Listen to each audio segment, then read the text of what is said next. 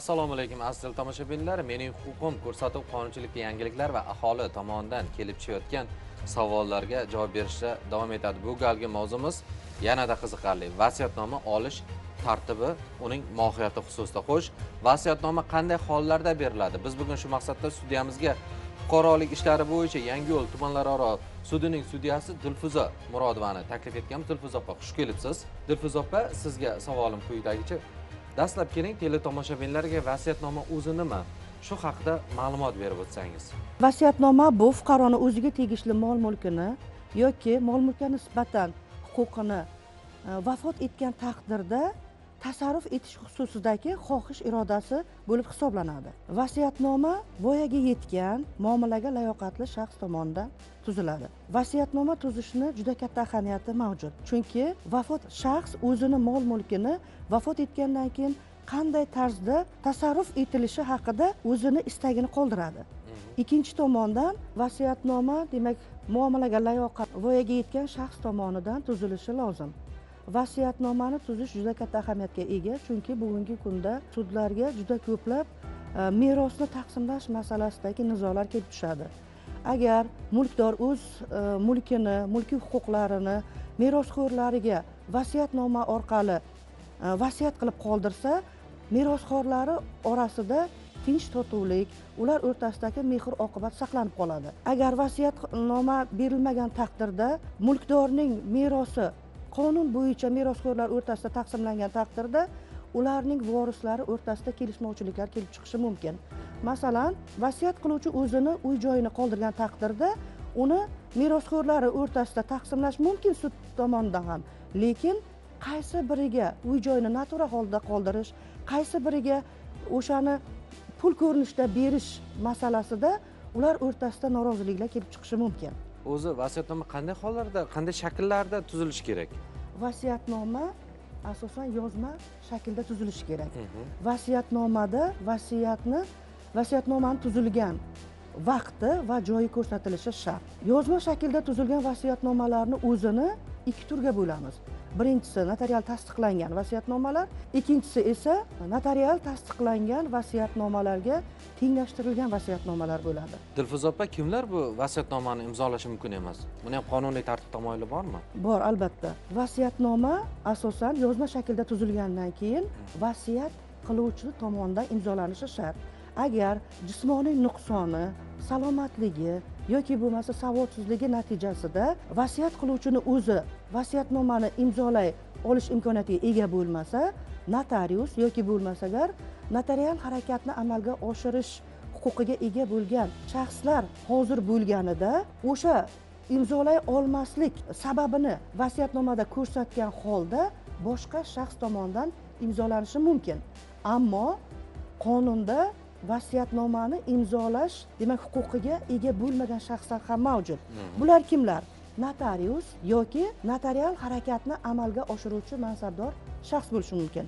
Vasiyatnoma kimni nomiga berilgan bo'lsa yoki bo'lmasa vasiyat majburiyati kimga yuklatilgan bo'lsa o'sha uning e, eri yoki xotini uni farzandlari nevaralari bo'lishi mumkin shuningdek merosxo'rlari ham imzolash huquqiga ega emaslar. Bundan tashqari vasiyatnomani to'liq muomala layoqatiga ega bo'lmagan shaxslar imzolay olmaydilar. Shuningdek ozodlikdan mahrum qilingan yoki bo'lmasa savodsizlar vasiyatnomani o'qiy olmaydigan demak shaxslar yolg'on guvohlik berganligi sababli jinoiy javobgarlikka tortilgan shaxslar vasiyatnomani imzolash huquqiga ega emaslar. Maxfiy vasiyatnoma ham bo'lishi mumkinmi? Vasiyatnoma maxfiy shaklda tuzilishi mumkin. Bunda vasiyat qiluvchi o'zini vasiyatnomasini o'z qo'li bilan yozib imzolaydi. Bu imzolangan vasiyatnomani ikkita guvoh ishtirokida yig'ma demak xat jildga buni solib qo'yiladidayu.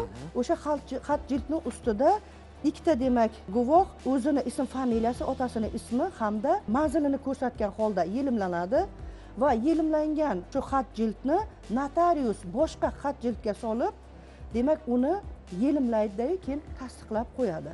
O'sha qonun talablari asosida bo'lishi belgilangan. Sizdan so'ramoqchi bo'lgan navbatdagi savolim vasiyatnoma vakil orqali ham tuzilishi mumkinmi? Yo'q vasiyatnoma faqat vasiyat qiluvchi tomonidan tuzilishi shart. Mhm. vakil orqali vasiyatnoma tuzishga demak qonun yo'l bermaydi. Fuqaro o'zining mol mulkini kimlarga vasiyat qilib qoldirilishi mumkin?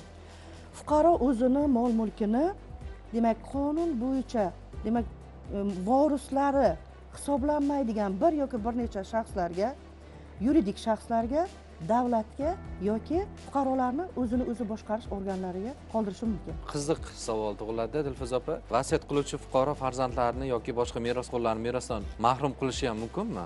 Albatta. Vasiyat qiluvchi o'zini farzandlarini yoki bo'lmasa qonuniy vorislarini izoh bermagan holda merosdan mahrum qilishi mumkin. Demakki ularga hech qanaqa bir xabar yoki ularga ma'lumot chunki shart emas. e, vasiyatni o'zini mol mulkini vasiyat qilishda erkin hisoblanadi mulkdor. Yana bir savol bor. Meros qoldiruvchi vasiyatnomani tuzgandan keyin uni bekor qilishi yoki o'zgartirishi ham mumkinmi qonun albatta. bo'yicha? Meros qoldiruvchi vasiyatnoma yozib qoldirgandan keyin istagan paytida bu vasiyatnomani bekor qildirishi uni o'zgartirishi mumkin. Dilfuza opa buni qanday yo'llar bilan bekor qilish mumkin?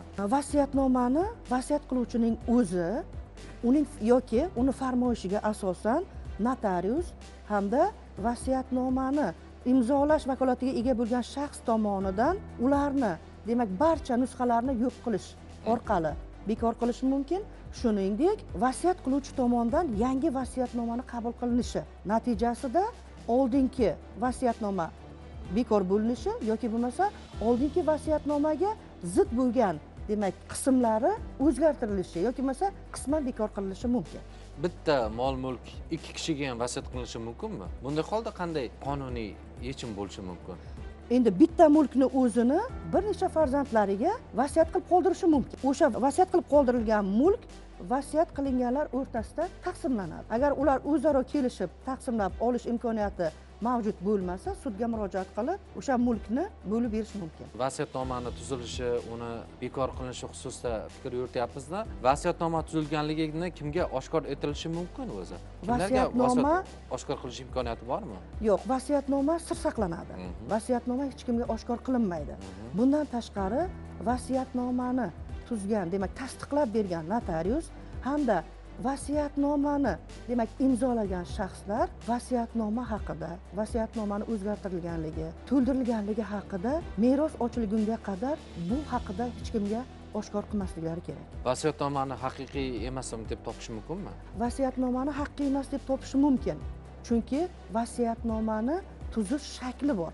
Shu shaklga demak amal qilmagan taqdirda vasiyatnoma haqiqiy emas deb topiladi. Masalan vasiyatnoma tuzilgan bo'lishidan qat'iy nazar vasiyat qiluvchining voyaga yetmagan farzandlari mehnatga qobiliyatsiz ayoli yoki bo'lmasa agar mehnatga qobiliyatsiz uni ota onalari majburiy ulush olish huquqiga ega. Mana shu majburiy ulush olish huquqiga ega bo'lgan shaxslarni ulushi ajratib berilmasdan vasiyatnoma tuzilgan bo'lsa bu sud tomonidan ko'rib chiqilib o'sha vasiyatnomani to'la bekor qilinishi yoki bo'lmasa agar qisman bekor qilinishi yoki vasiyatnomani tuzish shakliga demak amal qilinmay tuzilgan vasiyatnoma vasiyatnomani bekor qilinishidan mulkiy oqibatlarga ega bo'ladigan shaxsni da'vosi bo'yicha sud tomonidan haqiqiy emas deb topilishi mumkin. Masalan vasiyatnoma tuzilgan vaqtda majburiy ulush olish huquqiga ega bo'lgan shaxslarga tegishli bo'lgan ulush ajratilishi kerak.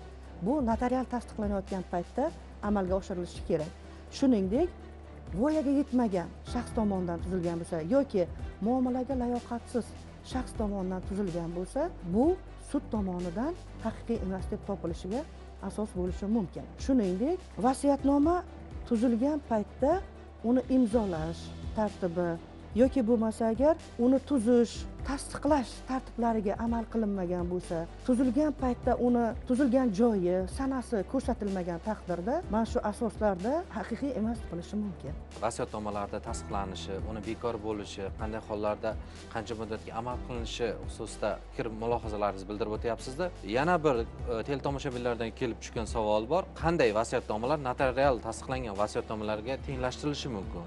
Shunday vasiyatnomalar ham bo'lishi mumkinmi deb so'rayaptilar. Albatta vasiyatnomalar demak boshida aytib o'tganimizdek notarial tasdiqlangan va notarial tasdiqlangan vasiyatnomalarga tenglashtirilgan vasiyatnomalar ko'rinishida bo'lishini aytib o'tgandik. Demak notarial tasdiqlangan vasiyatnomalarga tenglashtirilgan vasiyatnomalarga quyidagilar kiradi. Birinchidan kasalxonalar gospitallar statsionar davolanish muassasalari qariyalar uyi nogironlar uyida yashayotgan kasalxonalarda davolanayotganlarni demak tuzgan vasiyatnomalari shu muassasa ya'ni kasalxonalar gospitallarning vrachlari bosh vrachlari ularni davolash ishlari bo'yicha o'rinbosarlari hamda navbatchi vrachlari tomonidan tasdiqlangan vasiyatnomalar.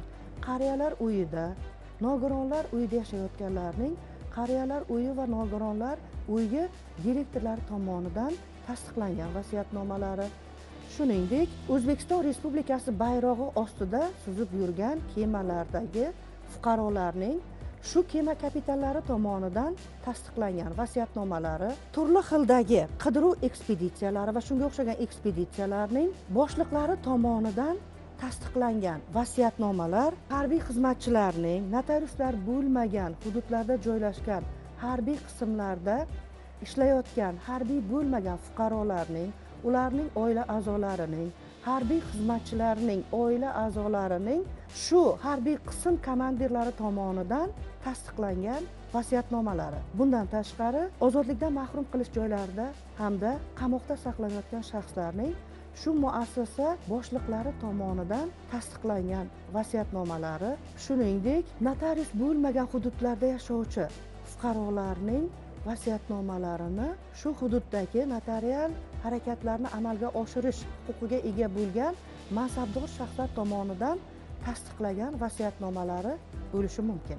Bularning hammasi notarial tasdiqlangan vasiyatnomalarga tenglashtiriladi. Notarius bo'lmagan hududda masalan kasalxonadagi og'ir kasal bo'lib qolishi mumkin. Uni notariusni ham olib kelishi iloji yo'q. Uni notariusga olib borishni ham iloji yo'q. O'sha paytda u o'zini xohishini bildirgan taqdirda o'sha kasalxonani o'zidagi e, bosh vrach yoki bo'lmasa agar navbatchi vrachlar tasdiqlashi mumkin dilfuza opa mana vasiyatnoma qoldirilish xususida ma'lumotlar berib o'tdingizlar agarda fuqaro o'zini merosini begona bo'lgan shaxsga meros qilib qoldirib yoki vasiyat qilib qoldiradigan bo'lsa uning farzandlari tomonidan buni bekor qildirishi mumkinmi? Mulkdor vasiyat qiluvchi o'zini mol mulkini istagan odamga qoldirish borasida erkin.